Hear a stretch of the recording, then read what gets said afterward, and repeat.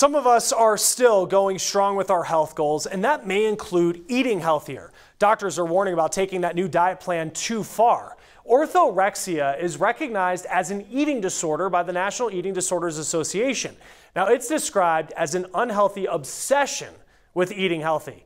Uh, it is relatively new and there's not a lot of research on it at this point, so it can be difficult for doctors to diagnose. Doctors say one big wake up call is extreme weight loss, as well as other health and social side effects.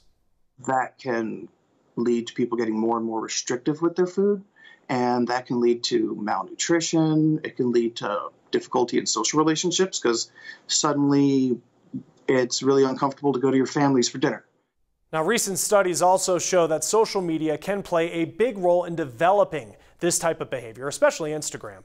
Doctors say the app, though, can help people connect with communities where they can learn more about healthy eating. But if people are looking for advice to eat healthier, doctors say it is a better idea just to go to a nutritionist so you can evaluate claims that you see online.